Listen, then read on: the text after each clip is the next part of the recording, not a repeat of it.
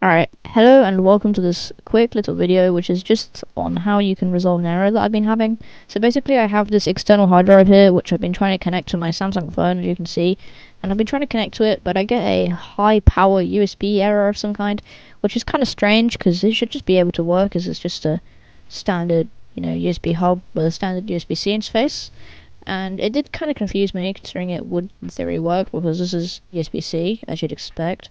I'm not lying to you, that's definitely a USB-C port. So that is a USB-C, so I don't see why it wouldn't work. And I was rather confused why it wasn't working, so I tried a few things, and this is the solution I got in the end.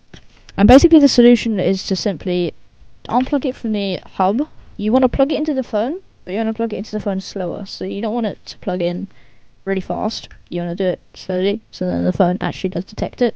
And if it doesn't work, I'll show you what you can do. But you also see that it does say high power USB device connected again. And that does happen, and there is no indicator light on the hub. That's fine. What you've got to do is unplug it from your phone again, and then flip the connector around the other way around, and then just plug in again really slowly. And then eventually you should get USB connected, and then it will say charging connected device, and there won't be a high power error. And then if you look at the USB hub, and in my case it has an indicator light, if you look at the hub, it actually does have an indicator light.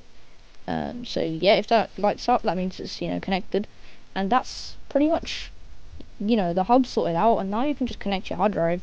So all you're gonna do now is just plug your external hard drive or USB drive into the USB hub, like so.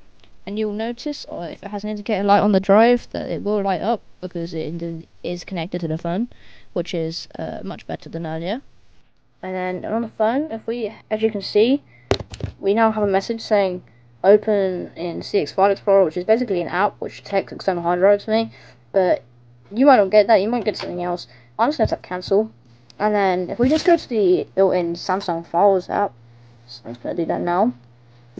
Uh, and you'll notice that we have this USB storage one.